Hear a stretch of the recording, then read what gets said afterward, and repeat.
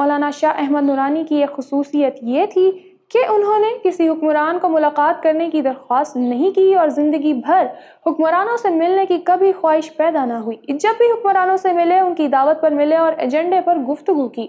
एक दफ़ा ज़ियाउल हक ने उन्हें मुलाकात के लिए मदू किया। मुलाकात हुई बाद में। सदर ममलिकत ने खाने का कहा तो मौलाना नूरानी ने कहा, जनरल साहब, आपने मुलाकात की दावत दी थी, खाने की दावत नहीं दी थी।